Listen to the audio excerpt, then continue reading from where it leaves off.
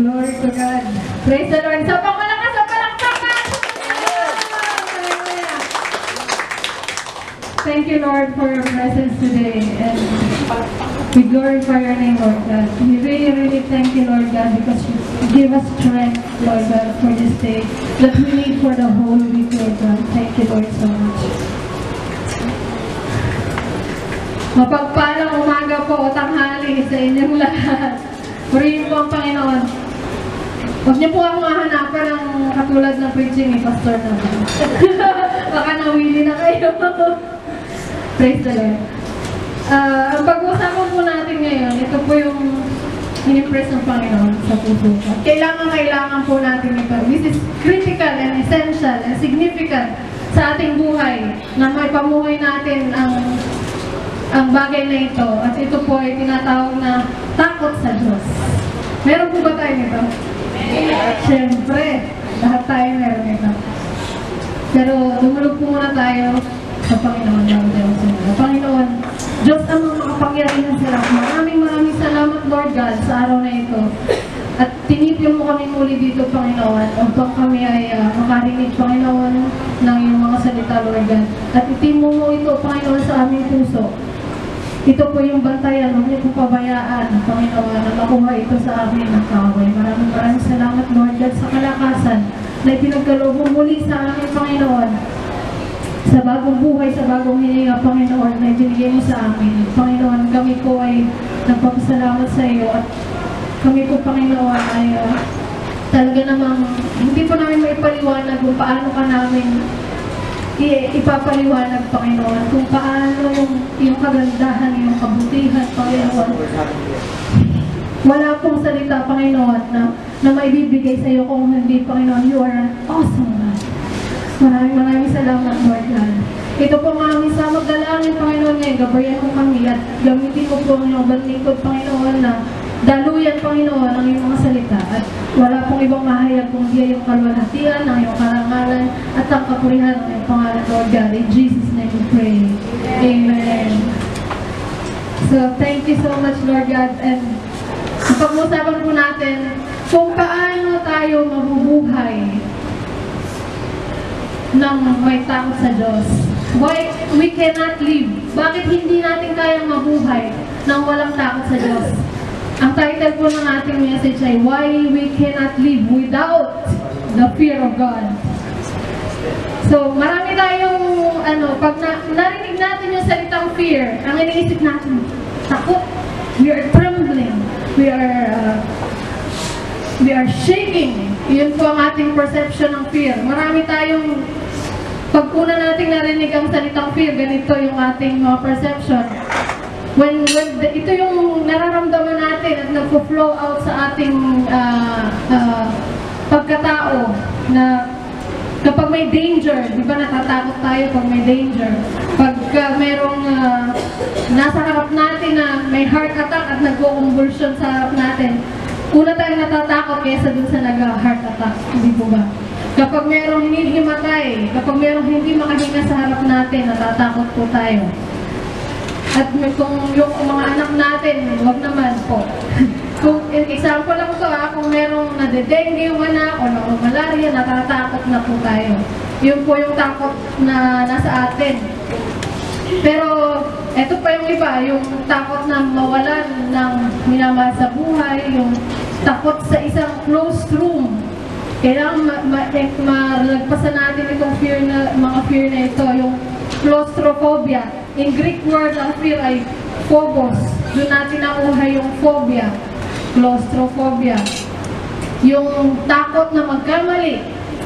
Di ba? Fear of making mistakes. Yung takot sa mga ghosts, yung mahilig mga mga manood ng mga horror movies pagkatapos naman hindi makapunta sa banyo dahil natatakot. Kailangan pa may kasama. Yung takot na madagdagan yung timbang, takot tumaba. And yung takot magingay yung mga asawa. Brother Jensen, pangalan ng asawa mo.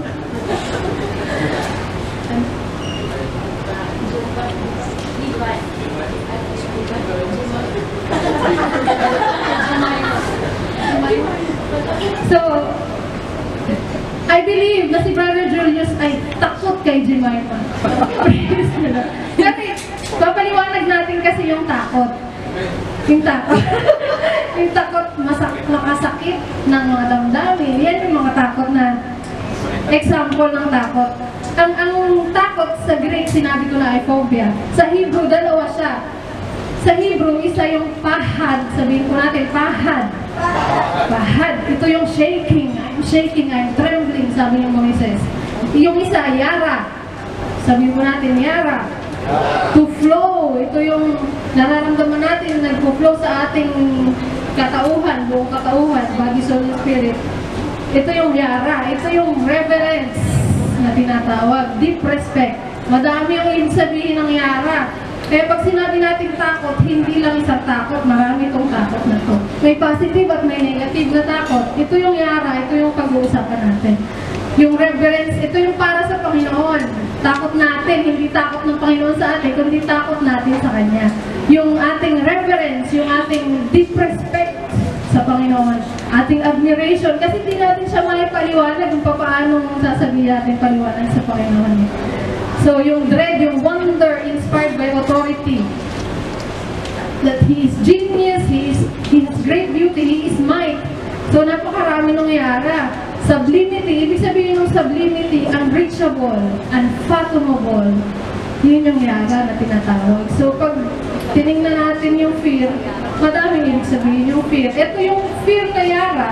Ito yung naramdaman ni Isaiah, ni Ezekiel, at ni John nung napunta sila sa in front of the throne of God. Unang-unang reaksyon ng tao kapag humarap siya sa Panginoon, lalagpak yung kanyang mukha doon. It is bowing down in awe of one authority. Ibig sabihin, hindi makikita mo yung sarili mo na He is God, you are not God. Yun, yun yung awe na tinatawag. Yung unang-unang reaction, the first reaction that a man will react, will, will, uh, ito yung gagawin niya unang-una without his consciousness. Ito yung gagawin niya kapag nakaharap niya ang Panginoon. Yun, kapag nakaharap natin, kasi si John, si John sabi niya sa Revelations 1.7, His face was like the sun shining in its brilliance. Nandun siya sa harap ng throne of God. When I saw Him, I fell at His feet as though I'm dead. Yun yung mga reaction. Ito yung fear na tinatawag. Si Ezekiel, when Ezekiel saw the likeness of the glory of the Lord, he fell face down. Ezekiel 1.28. So, yun po yung tinatawag natin yara. Yung pahad naman, ito yung feeling ng shaking and trembling. Fear din to ha. So, ito yung afraid na tinatawag. Ito yung fear na afraid pahad. Sa Exodus 14.10, when the Israelites army and the Pharaoh yung yung Israelites, 'di ba, yung army ng Pharaoh na corner sila, yung sea dito, tapos yung army dito, malapit na sa kanila, nasa gitna sila, parang na corner, na, na ano bang tawag doon, na dead end sila. Yun yung naramdaman nila, yung pahad, yung fear, yun yung takot na naramdaman nila. So, isa pang example ng pahad, yung when the people saw the thunder and lightning, Exodus 2018, yung nagsalita ang Panginoon sa mga Israelites ng Ten Commandments kasi yung boses ng Panginoon po, it's like lightning and thunder. So natakot sila, sabi nila kay Moises, Moises, ikaw na lang makinig. At lahat ng sabihin mo, susundin namin. Huwag mo lang pagsalitain sa harap namin ng Diyos. Yun yung takot na naramdaman nila. So anyways, hindi po yan. Maraming tao ngayon na nabubuhay Englishin ko na na. Marang millions of people is live, are living today claiming to know God and also millions of people use their strength, their riches, all their knowledge of the matters in the universe to prove that God does not exist. Ito yung mga atheist na tinatawag. Maraming, marami sa kanila. Punong-puno sila ng katalinuhan na gusto nila patunayan na walang Diyos. At there is nobody that will seek God. Is example nito si, kung kilala niyo si Walid Shubat. Kilala niyo. Sinig niya ang God para patunayan na yung Bible natin ay mali. Pero by seeking that, nung binabasa niya, natagpuan niya ang Panginoon. Walang mag-uumpisa ng paghahanap sa Panginoon by flesh na hindi mag end spiritually. Because matatagpuan nila yon pag hinanap nila. Kahit gaano pa pagpapatunay nila na sa sarili nila, hindi, hindi sila makakawala sa Diyos pag hinanap nila. So,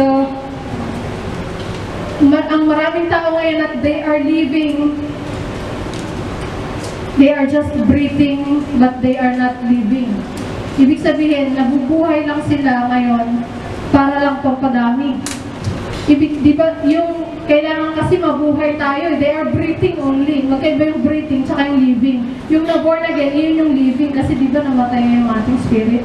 Yung na-born again, yun yung living. Yung mga hindi pa na-born again, they are only breathing because the spirit is not yet uh, alive. So, yun pagkakaiba. So, they are serving themselves. They are just biological uh, machines. Kasi, pinapakain nila, nagtatrabaho sila, nag-football or mga successful. Pero, hindi nila kilala yung gumawa sa kanila. Wala silang takot, lapas tanganin ang gumawa sa kanila. Hindi nila alam kung ano yung kanilang mga responsibility dun sa gumawa sa kanila. Hindi nila alam kung ano yung kanilang ah, dapat na gawain.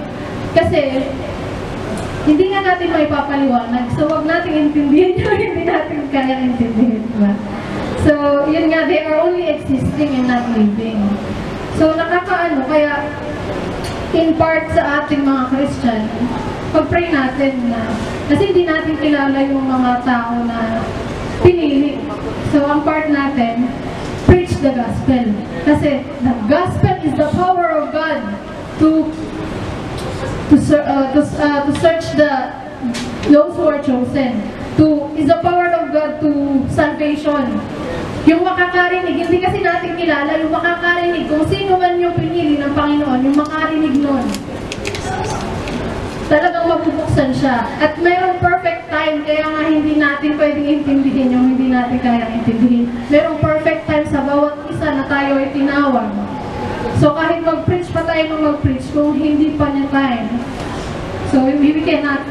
Pero ang, ang, ang, ang ating purpose, i-preach ang gospel. Whatever it takes for us.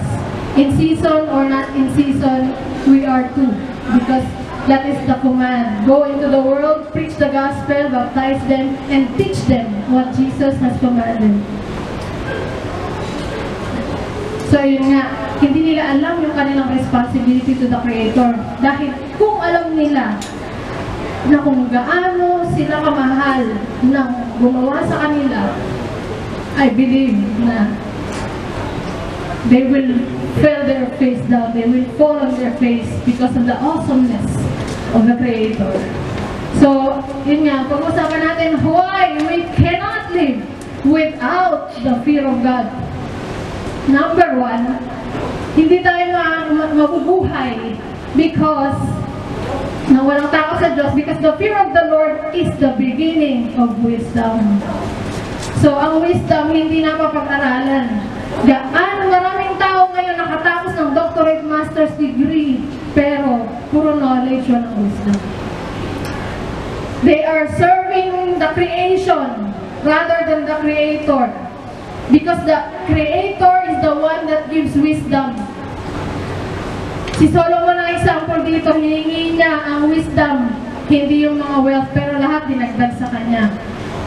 Ito yung example, si Solomon, di ba, mayroong dalawang nanay, dalawang nanay, at nanganak yung isang mauna, buhay yung anak niya, nanganak yung pangalawa, namatay yung anak niya dahil nadaganan niya. So, in the middle of the night, pinagpalit ng pangalawang nanay yung kanyang anak. Yung patay na anak niya, binilagay niya dun sa, sa isa, sa nanay number one, at yung buhay na anak ng nanay number one, nilagay niya sa tabi niya, yung bagong panganak. So, nung, nung nagising na yung nanay one, pa breastfeed na niya yung kanyang anak, nakita niya yung bata napatay. Pero nung tinignan niya yung mukha, syempre nanay tayo, kilala natin ang ating anak. Una natin tinitingnan palatandaan para hindi mapalit. Di ba? So nakita niya yung bata, patay, pero hindi niya anak dahil kilala ng nanay ang kanyang anak. Sabi niya, nagpunta sila ngayon kay Haring Solomon. Sabi niya kay Solomon, ah, mahal na hari, ito pong babae na to, kinuha po niya yung anak ko, nag-aaway ngayon sila doon sa isang baby. Sabi niya, hindi, anak ko yan. Patay ang anak mo, buhay ang anak ko. Sabi ng isa, hindi, anak ko yan, patay ang anak mo, buhay ang anak ko. Sabi, o sige, sabi ng ni Solomon, kumuha ka ng ano, kita, hahatiin natin sa dalawa, bigay mo yan sa kanilang dalawa para pareho silang meron. Napag-abugayin yung nanay.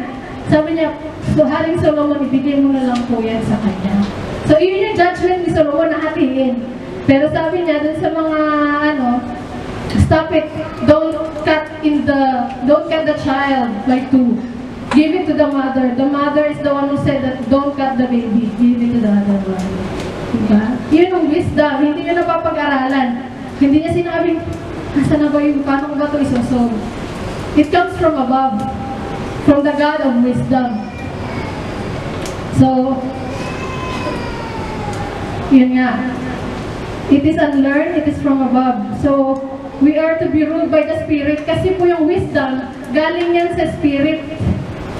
Yung knowledge sa soul, yung wisdom sa Spirit.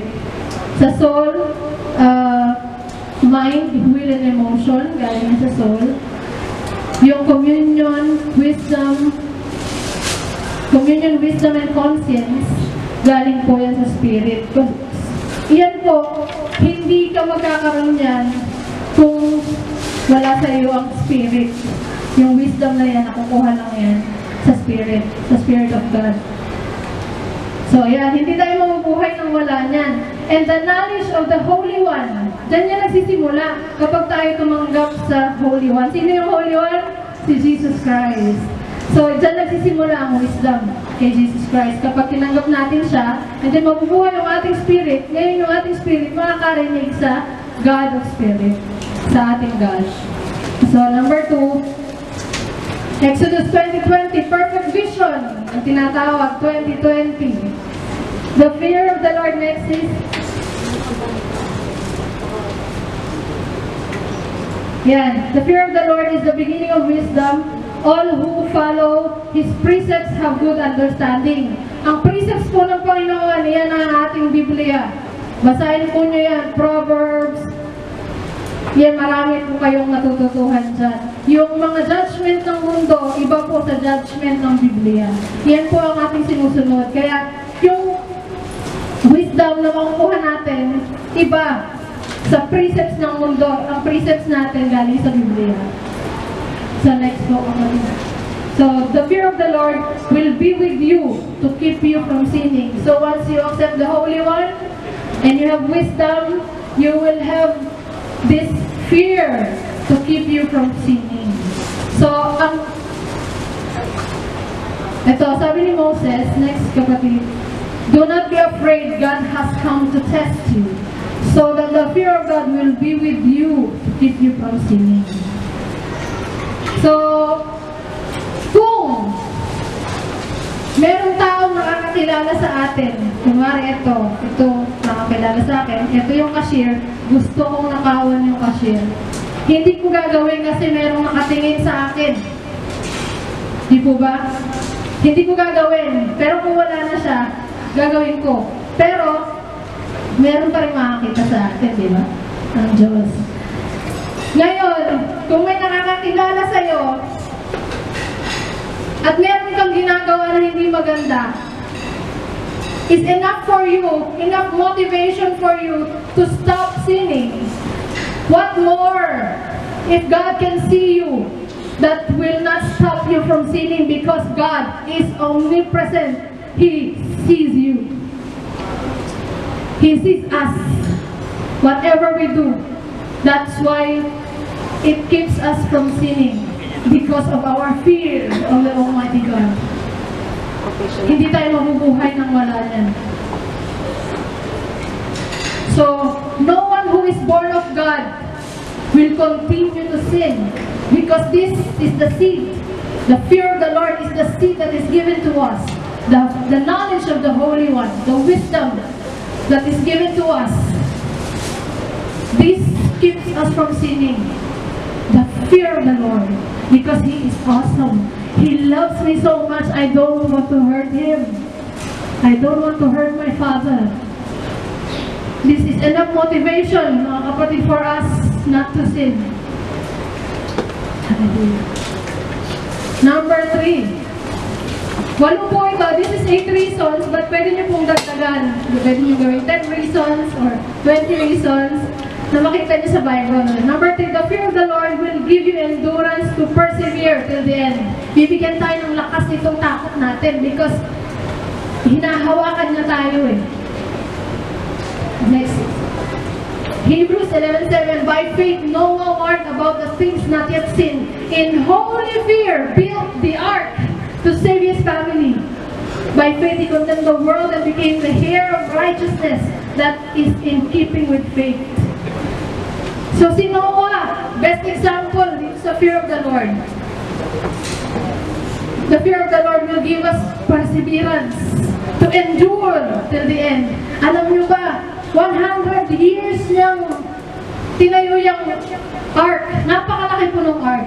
And bawat araw, wala pong power tools noon, ang lalaki ng puno. Iitakin nila yan. Malamang bato pa ang ginagamit nila pang itak. O kaya yung mga, mga swords. So walang power tools po noon. Mahirap itakin ang puno. Siguro sa isa, isang puno, isang maghapon. Pero nandyan po yung iba pa niyang kamag-anak na tumulong sa kanya. Kasi nabuhay po si si Methuselah buhay pa noon nung ginagawa niya. At saka si Lamech, ito po tatay ni Noah, si Methuselah, buhay pa yan. Because si Methuselah ang sign na ng Diyos ang mundo. Kasi ang ibig sabihin ng Methuselah, when he dies, judgment. So he is the sign. So nung namatay si Methuselah, seven days, sabi ng Lord, after seven days, gugunawin ko ang mundo. So, seven days yon namatay si Methuselah, seven days nag-mourn si Noah. So, binigyan siya ng time ng Panginoon para dun sa ka- kamatayan ni Methuselah. That is the sign na gugunawin na ng Diyos ang mundo. So, may mga ibig sabihin yung mga pangalan. In the first 10 genealogies, nandun po nakakonceal yung judgment. Kaya alam na po nila, nila Adam, nila Enoch yung mga mangyayari. Kasi nakakonceal from Adam to Noah, nakakonceal po yan. Pero that is another message. Kasi mahamay. Mahaba po yun. So, yun, napakalaki ng ark. So, kung, kung hindi siya umaasa doon sa hindi niya nakikita, kung hindi siya naniniwala sa, nagsabi sa kanya na bugunawin ko mundo, kung wala siyang takot dito sa Diyos na nagsabi sa kanya, hindi niya mabubuo yung art. Kasi pwede niyang paliitin yun eh. Pwede niyang gawing ah, bangka. Pero sa niya, yung elepante, pag gumunaw na yung mundo, lalagyan niya sa gilid, dalawang elepante. Hindi ba mahirap? Mahirap baguhin ang plano sa buhay natin, mga kapatid. Kung ano yung binigay sa atin, be it, that is the plan of God for us. Hindi natin pwedeng i-twist. Hindi natin pwedeng baguhin na putol ako ng putol ng puno. Pwede ba? Lord, iba naman, pag na ako magputol ng puno, eh. Isang daang taon, biruin mo. Hindi po ba? Kung wala siyang takot sa Panginoon, hindi siya makakatagal na buuin yung art. At wala tayo dito sa kanila nagmula ang human race. Pinreserve sila para sa atin. Kasi noon, di ba, naghalo na yung seed ng mga angels at saka ng tao. So, ayaw ng Panginoon, hindi pwede yan. So, ginunaw niya yung wickedness ng panahon na yan. Itinaran si Noah because ito lang yung nakita niyang righteous. So, ayun. Hindi siya makakapagpatuloy na buuin yung ark kung wala siyang takot sa Diyos. Kung wala siyang ah, paniniwala, kung wala siyang trust, kung wala siyang, ah, yun nga, yung hindi niya alam na totoo. Kasi, by generation by generation, ipinas ni Adam, ipinas kay Seth, ipinas sa kanilang mga ah, sumunod sa mga descendants, yung yung faith, kasi nandoon na yun eh. Kasi nag-aalay na sila pa. Yung faith na pinangahawakan nila, ipinasa yan hanggang kay Noah. So alam niya na totoo itong Diyos na pinaglilingkuran ko. So habang gumagawa siya, I believe na preach siya, pero hindi naniwala maging mga kamag-anak niya. So sila lang yung natirang pamilya. At hindi po ito aksidente, ito po ay nakaplano ng Panginoon. He is the God of plan. Nakaplano po yan lahat. So number four. Proverbs 3, 7 to 8. Hindi. The fear of the Lord will bring health to your body and nourishment to your bones. Paano tayo mabubuhay? Nang wala tayong takot sa Panginoon. Ayan o, oh, biblical. Ang ibibigay sa atin. Next. Do not be wise in your own eyes. Fear the Lord and shun evil. You have to hate evil. You have to, we have to hate evil. This will bring health to your body and nourishment to your bones. How can we live if we are not healthy? Di ba? So, konektado, may divine connection between the fear of the Lord and our health. There is a divine connection. If we don't have fear of God, pwede ka bang lumakad ng iyong buto mo balik? Di ba? Literal na lang natin. This will give nourishment to your bones and health to your body. Yung mga unbelievers po sa Pilipinas, wag mga 60 years old kagaya ni Pastor, ugod-ugod na yan. Tingnan niyo po yung pastor natin, napakalakas because he has the fear of the Lord. Niya. Diba? Ugod-ugod na yan. Puti na lahat ng buhok. Magka 60 years old na sa Pinas. So number 5. The fear of the Lord will put your name in the scroll of remembrance. Na napag-aralan natin ito noon. So, I believe kasi, naniniwala ako pag hininto ako ng Panginoon sa pagbabasa, there is something. Para pag nangingisda ka, I've got one! I've got one. Noon, noon, inano yan ng Panginoon. Gusto niyo bang maalala kayo ng Panginoon? Siyempre, have the fear of the Lord. Kasi naalala niya, sabi niya, the God of Abraham. I am the God of Isaac. I am the God of Jacob. I am the God of Shem. Pwede ba natin sabihin, I am the God of Elenita? Yes. I am the God of Cherry. I am the God of Julius. Because we are remembered by the Lord if we have fear of the Lord. So, God knows how to, how to spare. Kapag nakalala ka niya, ang nakapaloob dyan sa message na yan, He will spare us from lahat ng kapahamakan. He will spare us from Basta, ayaw kasi mag-ano ng doctrine. Forget it. Basta yun, basahin niyo po yan. Malakay 3.16. So God will listen to us. Yun. Then those who fear the Lord turns with each other. The Lord listens and heard.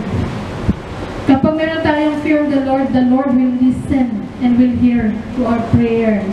So everything na ating isusumbong sa Kanya, alam, pakikinig ang Panginoon. And there is one thing na hindi niya tayo pakikinggan kapag tayo ay nagkasala. Kaya nga nandyan ang 1 John 1.9, if you confess your sins, babalik nun yung ating uh, relationship at pakikinggan na tayo ng Panginoon. So, walang masama mag-confess ng kasalanan sa Panginoon. Wala pong masama. You, it has, you have to humble yourself before the Lord. And it is only pride that keeps us from confessing our sins to the Lord. So, huwag niyo pong gayahin si Satan sa pride. Number six.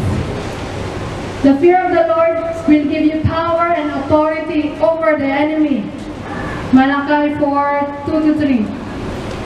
Yan. But for you who revere, yung revere, di ba narinig nyo kanina, yung yara? It's reverence. Revere is the root word. It's the same as fear. But for you who revere my name, the Son of Righteousness will rise with healing in its race, and you will go out like frolic like, and frolic like well-fed calves. Naalala niyo yung illustration ni Brother Julius na yung sun is God and the race is Jesus Christ? And the the feeling, yung maramdaman yung healing. So your next quote, please. Then you will trample on the wicked. They will be ashes under your soles, your feet on the day when I access the Almighty God. It is the same as Mark 16.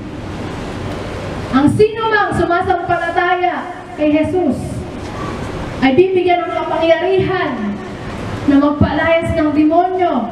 Sino mong patungan ninyo ng inyong mga kamay ay gagaling. At kung humawak kayo ng ahas, ipagpag nyo ito, hindi kayo maaano. Kumain man kayo ng lason, kung nasa mission kayo, pakainin kayo ng lason, hindi kayo mamamatay because that is a promise in Mark 16. This is the same as Mark, 6 Mark 16. Nagsisimula pa rin saan? The fear of the Lord is the beginning of wisdom and the knowledge of the Holy One. Kung sino mang sumampalataya kay Jesus, yan po ang inyong authority over the power of darkness. Meron kasi ng power, but the authority is all in our Lord Jesus Christ. He has given all the power and authority under His feet. Kaya matatapakan na lang natin sila eh. Like ashes. Kaya huwag kayong matatakot kung kayo nakakaramdam mga kung ano-ano. Because you have the authority over them. In the name of Jesus, get out from Him! Amen. Diba? Sakit. Kaya-kaya niyang palayasin. Patungan niyo ng kamayan kahit sino kung kayo naniniwala. Nakikita ng Panginoon niya. And the power of God will flow on you. And whoever you put your hands on will be healed. Hallelujah po ba? Naniniwala po ba kayo? Amen. Siyempre. There is nobody in this world that is given that authority but for the believers in Jesus Christ, the genuine born-again Christians. Hallelujah. Palakpakan po natin ang Panginoon. Number seven. Etong maganda. The fear of the Lord The fear of the Lord confines those who fear Him. Parang mali yan. Yeah. The Lord confines confides in those who fear Him. Hindi ko po na-edit sa The Lord confides. Yung confides, ito po yung root word ng confidence. Confides, ha? So, kung meron tayo, si Sister Cherry, kung meron siyang personal na problema, hindi niya basta-basta yan sasabihin kanino lang.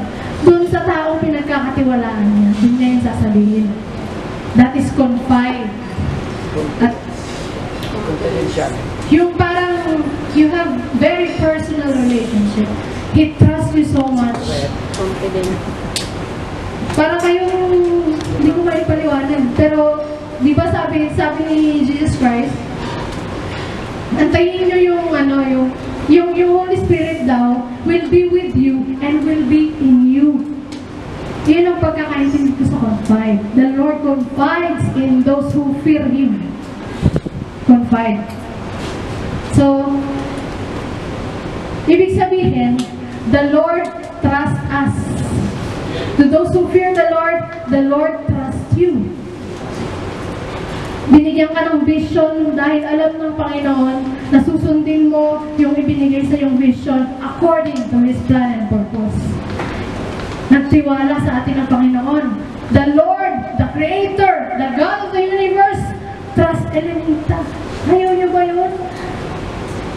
The Lord of the universe, the Creator of the whole universe, of the whole creation. Trust Brother Bobby. That is so personal. He is a God of personal. He is a personal God in this so impersonal world. He trusts in you. Lord, hindi ko yung magagawa. Wala naman akong pinag-aralan eh. It's okay, I trust in you. Parang ganun yan. Lord, ayoko yan. Wala naman akong pera kung patayo niyan. It's okay. Alam ko kung sasabihin mo yan, I trust in you still. Lord, matada pa ako, magkakasala ako. Alam ko yan. Still, I trust in you. Lord, madadapa ako, mahina talaga ako, hindi ko yan kaya, hindi ko hindi ko kaya ang magsalita, Lord. Alam ko yan. Alam ko sasabihin mo yan. Still, I trust in you. Alam ko mahina ka. Alam ko. Alam ko lahat ng gagawin mo. Alam ko madadapa ka. I know that you are not so intelligent. But I choose the foolish in this world to shame the wise. God trusts in us. Tandaan niyo yan, maganda po yan. Yung, binuhin niyo yung gumawa ng whole universe. Nagtatrust sa atin. Hindi mo maganda yun? Glory to God.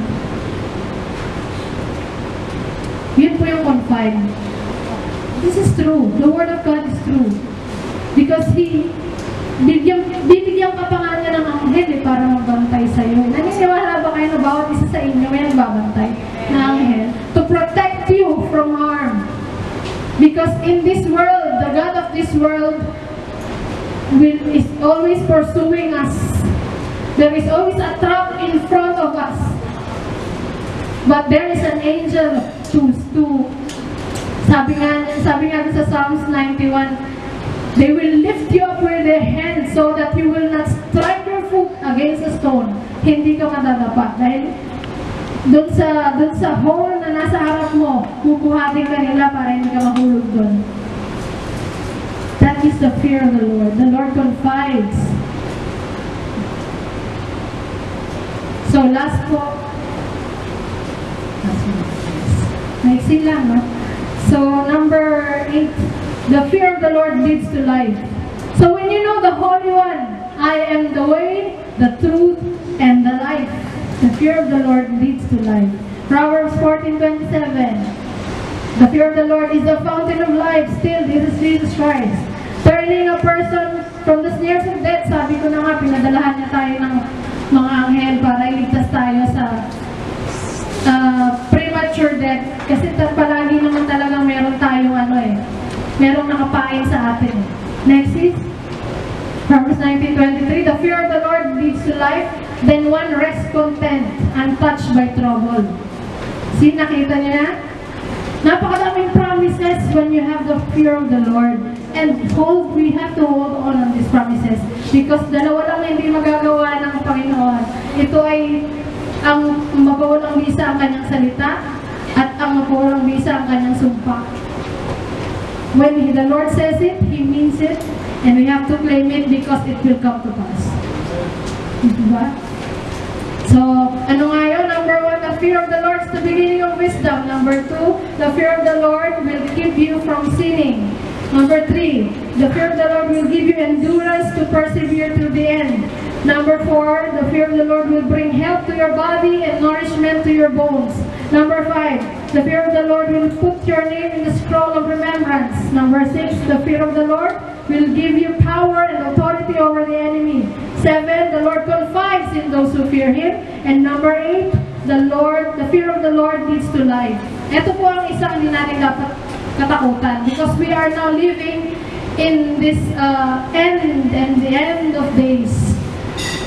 Sabi sa Matthew 10:28, So do not be afraid of those who kill the body, but cannot kill the soul.